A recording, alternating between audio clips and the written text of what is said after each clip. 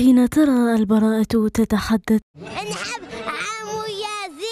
وترى جمهور شاب يزيد لا يترك زاوية إلا وهو يتمعن في باقة من الأغاني التي قدمها يزيد بمناسبة نهاية العطلة الربيعية برياض الفتح. والشيء المميز فيها قيمة النصائح والإرشادات التربوية التي قدمها لصالح الطفل.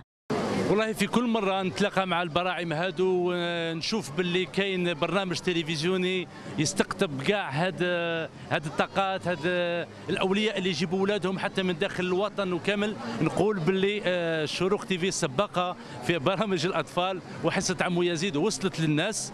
آه، نقول لهم باللي رايح نزورهم في كل مكان إن شاء الله ربي يوفقنا برك. جينا باش نشوفوا عمو يزيد جبنا ولادنا باش نجوا نفرحوا ونوم نهار الأخر تاع العطلة تاعنا. حبوا كل عمو يزيد هو قدوة آه، تربية للأطفال يقدم بزاف النصائح تفيد الأطفال في تربيتهم في أوعيتهم في المستقبل إن شاء الله.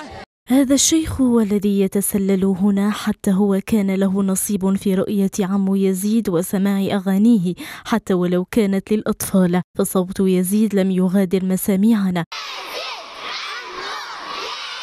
بل هو راسخ في أذهان الأطفال الصغار الذين أوتي بهم عشقهم من مختلف الولايات. جيت جيت متيارتني بنجي بنجي شوف بنجي